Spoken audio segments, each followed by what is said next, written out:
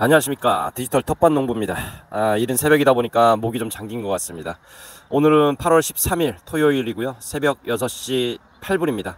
아, 5시에 눈이 떠져서 또 이렇게 텃밭으로 달려 나왔습니다. 음, 텃밭에 와서 비가 너무나 많이 내린 한 주간이었죠. 그래서 어, 텃밭에 와서 과연 이 상태가 어떻게 됐을까 걱정이 돼서 달려왔습니다. 어, 전체적으로 텃밭을 확인해 보니까 음, 고구마는 정말 잘 자라고 있죠. 고구마 이파리가 그 줄기와 이파리가 꼿꼿이 하늘을 향해서 어, 깨끗하게 이렇게 잘 자라고 있는 것을 확인할 수 있습니다. 그 다음에 이제 상추는 이제 다 뽑아 버려야 될 것 같아요. 이제 이거는 생육 상태가 끝났다라고 볼 수 있고요. 어, 그 옆에 참외, 참외 쪽에 지난주에 왔을 때 과가 파란색 과가 조금 달렸잖아요. 자 오늘 한번 볼까요? 자 이렇게 일주일 만에 과가 이제 노란색으로 변하면서 어, 먹음직스럽게 과가 달린 것을 확인했습니다. 드디어 어, 참외를 오늘 수확할 수 있을 것 같고요. 아무래도 오이는 오늘 또 올해 오이는 좀 이상합니다. 정말 고과도 많고요. 어, 상태가 영 좋지 않은 어, 그런 상태들입니다. 어, 오이 농사 참 어렵고요. 어, 그나마 여기 하나 좀 제대로 건질 수 있는 게 있는 것 같습니다.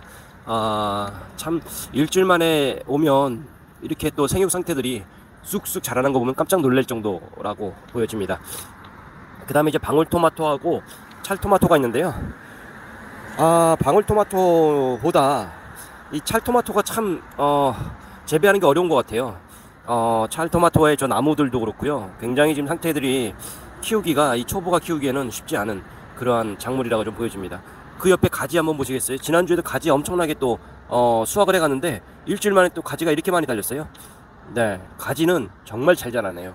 아쉽게도 제가 가지를 먹질 않아서 어, 맨날 수확을 하긴 하는데 아, 처치곤란입니다. 그래서 너무 아깝습니다. 그래서 어, 가지는 좀 너무 아깝고요. 어, 오늘 말씀드리고 싶은 거는 이 고추. 와, 참 이 고추 농사가 정말 어렵습니다.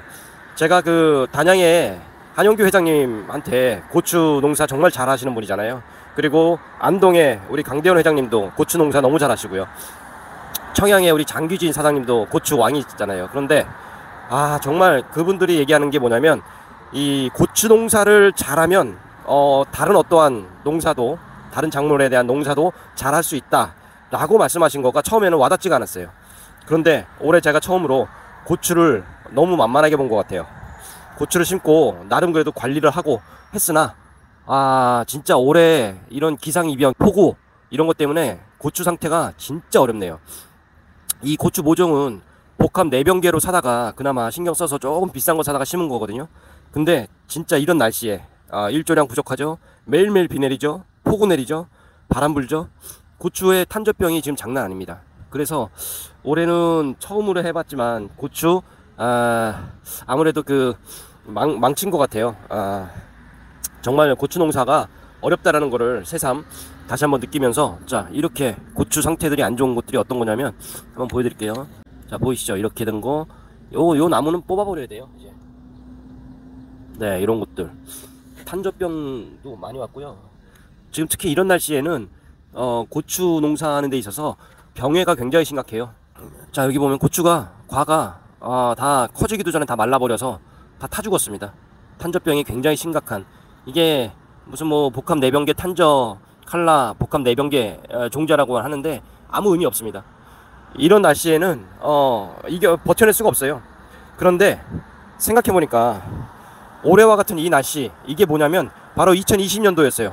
2020년도 8월 달에도 어 늦은 장마와 함께 엄청난 비가 많이 왔고 그러면서 고추 농사가 정말 힘들어서 어 그해 고추 수확량이 감소했고 결국에는 고추가 한 근에 2만 원까지 시세가 2만 원까지 가는 최고의 시세를 정점을 찍는 그 한 해가 2020년이었습니다. 제가 정확하게 기억하는데 아, 그때 진짜 고추 그 악조건에서도 고추 농사를 잘하신 농가가 2020년도에는 시세 평생에 한번 받을까 말까 한 그 도매 시세를 받아서 큰 돈을 버셨습니다. 근데 그 큰 돈을 벌기까지 얼마나 아, 이런 악조건 기상 악조건 하에서 고추 농사를 열심히 했으면 수확을 이루고 돈을 벌었겠습니까? 정말 쉽지 않았던 것이라는 걸 새삼 느끼는 그러한 시간입니다. 아마 올해도 충청과 중부권 특히 중부권에서의 기상 악화로 인해서 폭우로 인해서 일조량 부족으로 인해서 시설 하우스든 노지든 고추의 수확량은 감소할 수밖에 없고요. 탄저병이 매우 심하고요. 지금 이렇게 매일매일 비가 비 예보가 있을 때는 농약도 못 쳐요. 그러니까 특히 이럴 때는 병해가 굉장히 심각하게 많이 옵니다. 바이러스 균들이 지금 음, 계속 전염되고 오염돼서 이렇게 생육 상태가 완전 불안정한데요. 이럴 때 정말 잘 가꾸고 더 정성 들여서 어, 고추 농사를 성공해서 수확한다면 올해 고추 시세 아주 심상치 않습니다. 굉장히 비싸질 것이고요. 어, 큰 돈 벌 수 있을 것이라는 생각을 아, 다시 한번 해봅니다. 일주일 만에 왔는데 또 하나 왔을 때 놀란 거는 우리 이렇게 호박이 야 오늘 또 이렇게 수확하에 갈수 있도록 호박이 이렇게 또 매달렸습니다. 저기도 호박이 이렇게 하나 숨겨져 있죠. 참 재미난 것 같습니다. 지난주엔 여기 없었어요 호박이. 근데 오늘 오니까 호박이 또 이렇게 있어서 현재 눈에 보이는 것만 호박이 두 개인데 아마 찾아보면 또 있을 것 같습니다. 아무튼 오늘 또 수확할 것 좀 수확하고 이렇게 매일매일 비가 오고 비 많이 오고 폭우가 내리는 이럴 때는요 사실은 걱정되는 게 아, 해충보다는 병해입니다. 아, 농사 지을 때 병해충이라고 하잖아요. 병해와 해충. 병해는 바이러스입니다. 아, 균인데 이렇게 비가 많이 올 때는 이 균들이 안 좋은 균들이 아, 작물들을 가하기 시작합니다. 그래서 올해 농사 정말 힘들다고 하는 이유가 원래는 자연의 순리를 따른다면 어, 해가 쨍하고 광합성이 되고 어, 부족한 거는 비가 일부 내려서 또 어, 수분을 주고 또 해가 나고 이렇게 해서 자연 섭리가 그렇게 돼야 되는데 지금은 어, 이게 며칠 몇 주째 계속 비만 내리고 어, 일조량 부족하고 어, 그러다 보니까 계속 병해가 너무 심각해서 작물들이 거의 뭐 상태들이 다들 메롱입니다.